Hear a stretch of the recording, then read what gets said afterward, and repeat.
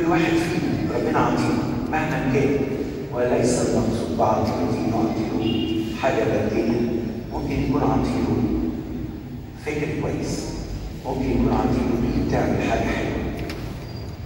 ممكن اعطيله وش شكله جميل مريح. اعطيله كلمه تريح الناس اللي حواليه فربنا عطايا كتيرة. وربنا بيدي كل إنسان فينا عشان يدي اللي حواليه. وزي اللي بيسمر صبر حد زرع زرع بيسمر فربنا عطيله بذره حلوة يا ترى هو استثمرها حلو ولا لا؟